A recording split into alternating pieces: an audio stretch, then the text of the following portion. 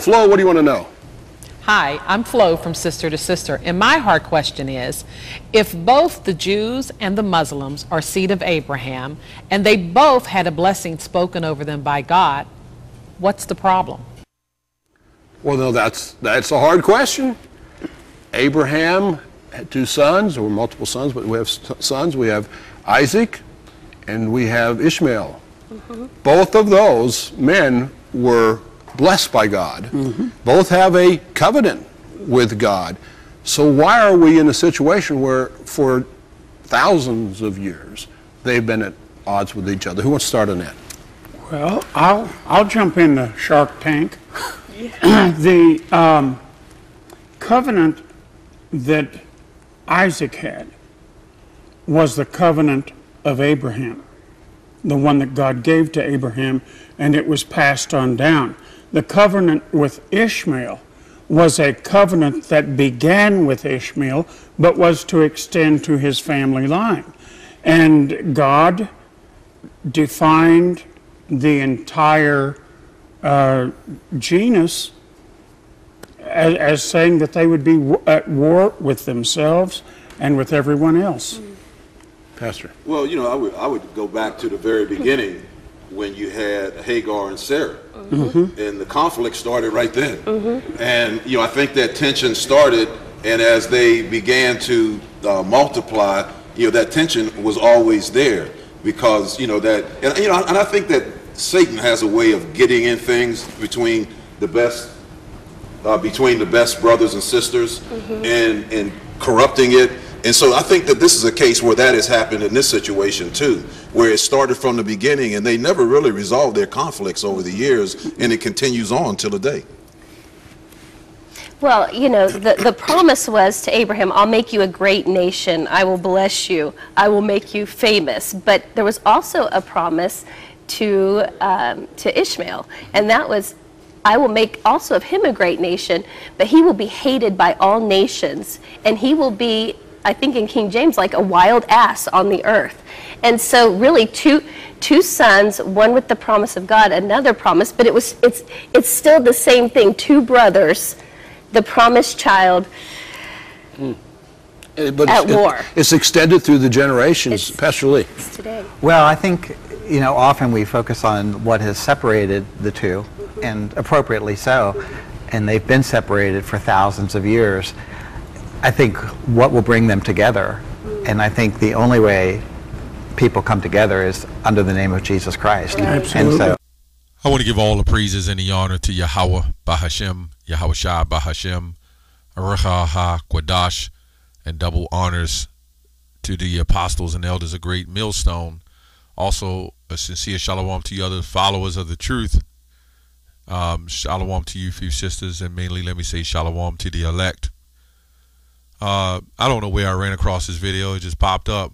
So, um, the first word I want to go into because this what what it is with our people. Now, these people on the panelist who claim to be theologians and understanding the Bible, which they've never opened the Bible to read anything that they're saying. And the scripture says, "Prove all things." You know, always be ready to give an answer to a man that, that anyone who have a uh, um, give an answer to every question to a man that has a reason of hope, right? Who really wants to know what the truth is. So I don't understand the woman. You know, maybe it was sincere to her or whatever, but these uh, panelists they've never went into the scriptures, right? They just came off the top of their head from what they feel that they read.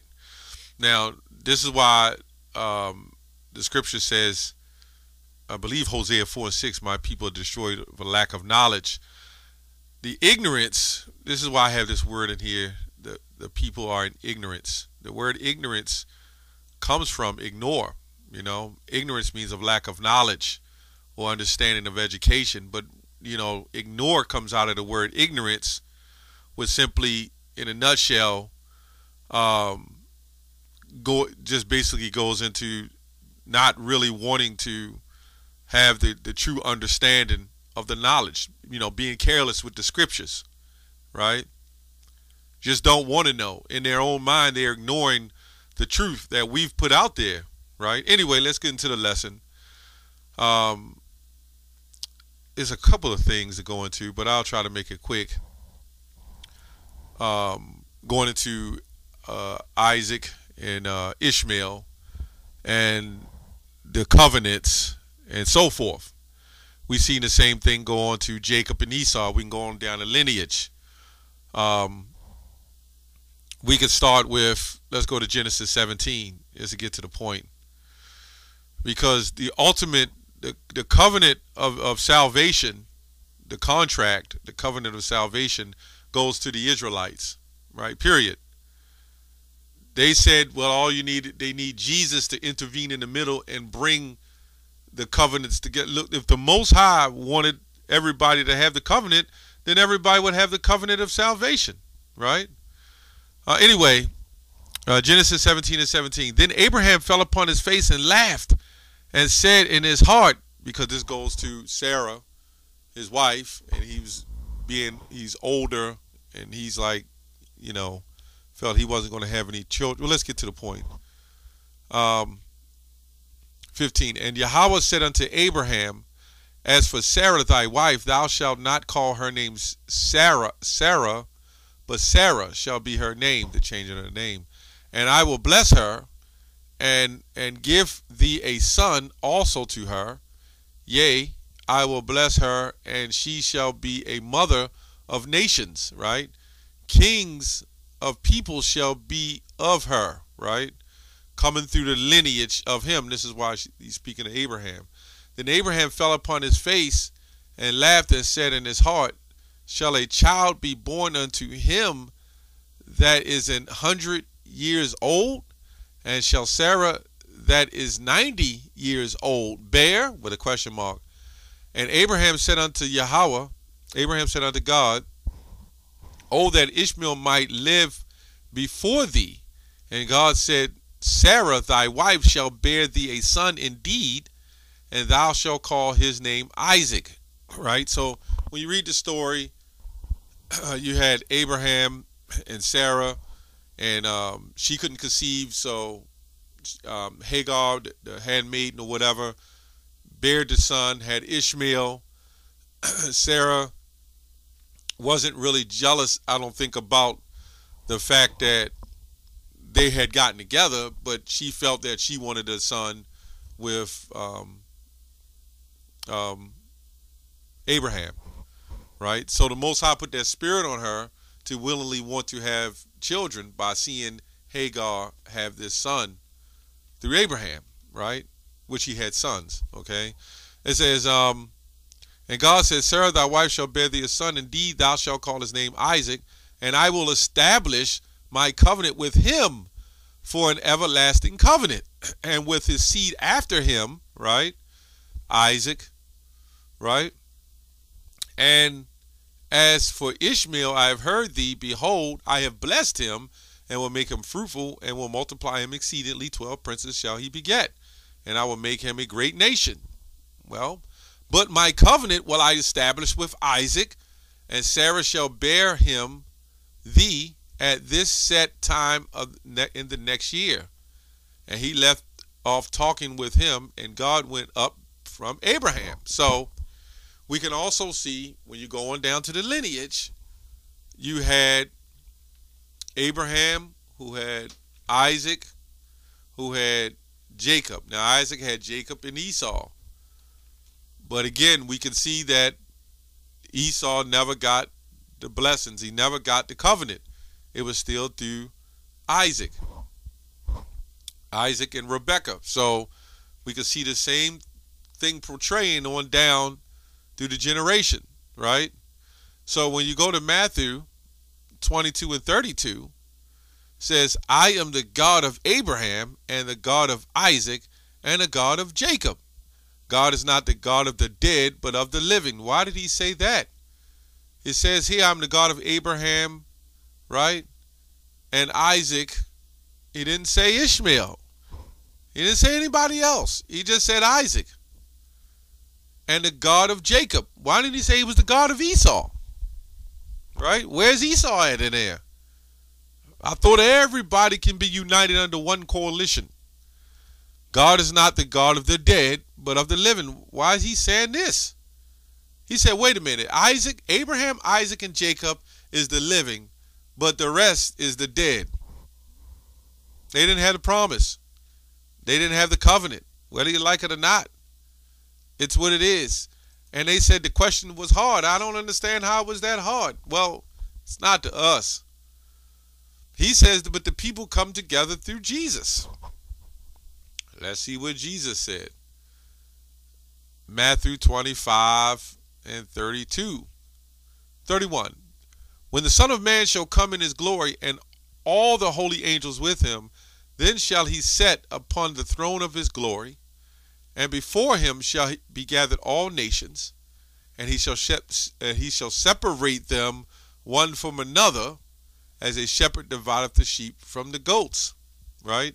So you got this system now that's trying to put them all together, but the Lord said he's going to separate them, which really they were separated from their birth. The nations was already separated. He divided the nations to their inheritance, right, to their inheritance, and set the, the bounds according to the children of Israel, the numbers according to the ch- children of Israel. So why does he say he's going to separate the nation? Then he said he should come in the throne of his glory.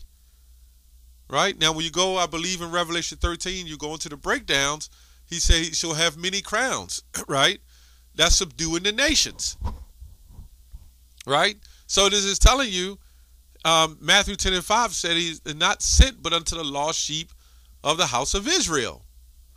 Acts 5 and 29 says he died, who, who it goes on to say, who Yahweh who ye slew and hung on a tree and gave repentance to the Israelites. Uh, when you go to Isaiah 13, there's so many scriptures where um, Paul said they beckoned to his hand to the and said, Ye men of Israel, hear these words and give audience, right? So let's go to Acts. I'll try to make this quick. Acts, the third chapter. This is going into when um, Peter and John went to the temple and uh, healed the the, the the lame the lame beggar, right? And he, they they healed him right? But let's go on to verse 11. It says, And as the lame man which was healed held Peter and John, all the people ran together unto them in the, in the porch that is called Solomon's greatly wondering. And when Peter saw it, he answered the people, Ye men of Israel. So that man that was that he healed was had to be an Israelite as well. He said, Ye men of Israel, why marvel ye at this? He's talking to the men of Israel, right? Or why look ye so earnestly on us as though by our own power or holiness we had made this man to walk? So they was showing their humility and really just showing that this, through, this, through the faith, through the spirit, it was the power of the Heavenly Father. That's why he, he told us even to this day, healed the sick, cleansed the leper. You know, we was all sick, you know, spiritually sick. It says, the God of Abraham and of Isaac and of Jacob, right? The God of our fathers have glorified his son, Jesus, Yahweh. Wait a minute. Where's everybody in this, man? You just say it over and over again. I'll read it again. It says, um, the God, this is Acts 3 and 13, the God of Abraham and of Isaac, not Ishmael, and of Jacob, not Esau.